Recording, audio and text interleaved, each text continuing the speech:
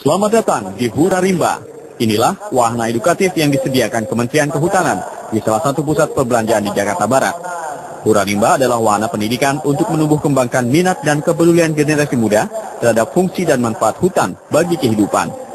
Di wahana ini, Anda dan buah hati bisa menjajal beragam permainan di sejumlah zona yang tersedia. Di zona pohon dan air, anak-anak diajak memahami pentingnya pohon sebagai kekuatan utama penyimpan dan peresapan air untuk mencegah banjir.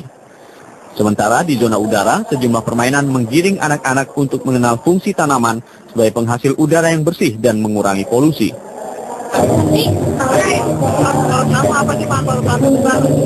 untuk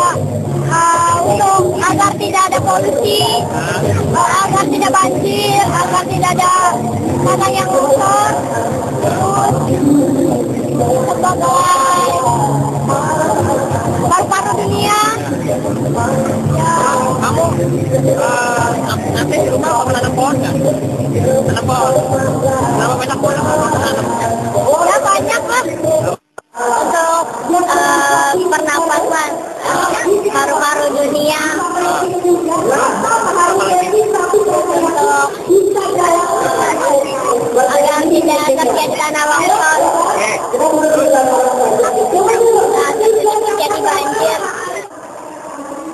Tak cuma edukasi lingkungan, anak juga diajak melihat potensi ekonomi dari berbagai produk olahan kayu, sekaligus belajar kelestarian alam untuk kelestarian energi. Menteri Kehutanan Zulkifli Hasan Sabtu siang ikut hadir untuk mengampanyekan gerakan menanam satu miliar pohon. Lewat kampanye ini, generasi muda Indonesia diajak ikut memperbaiki kondisi hutan kita yang sudah rusak parah. Data Kementerian Kehutanan menyebutkan, laju kerusakan hutan di Indonesia tercatat 700 ribu hektar per tahun. Indonesia alhamdulillah sekarang yang terparah sudah kita lampaui ya eh, perlakuan terhadap hutan yang tidak melebihi eh, apa namanya daya dukung lingkungan sudah kita lewati. Sekarang kita dalam rangka pemulihan lingkungan. Sekarang oleh karena itu tidak ada lagi nebang pohon, izin nebang pohon yang ada sekarang itu gerakan besar-besar menanam pohon.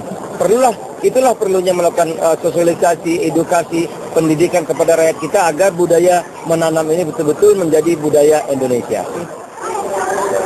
Selain belajar soal hutan, anak-anak sekolah dasar ini juga diajari bagaimana memainkan alat musik tradisional angklung yang juga dibuat dari hasil hutan.